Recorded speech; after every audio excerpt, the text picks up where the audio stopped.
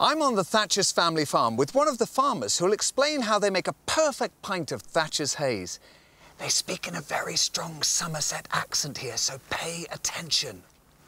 Well, we take a carefully crafted selection of apples and add a touch of juice from the Jonagold eating apple.